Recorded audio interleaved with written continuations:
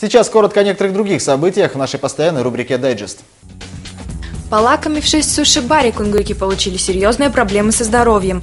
Почувствовав недомогание и обратившись в медучреждение, семейная пара была шокирована представленным диагнозом. У них обнаружились сальмонеллез. Как показала лабораторная экспертиза, фактором передачи данной инфекции стали готовые продукты, изготовленные в суши-баре, а также зараженность этим вирусом одного из сотрудников заведения. Управление Федеральной службы по надзору в сфере защиты прав потребителей и благополучия человека по Пермскому краю обратилось в суд защиту интересов семейной пары. Свой ущерб за причиненный вред здоровью семейная пара оценила почти в 63 тысячи рублей. Пермский краевой суд принял сторону потерпевших.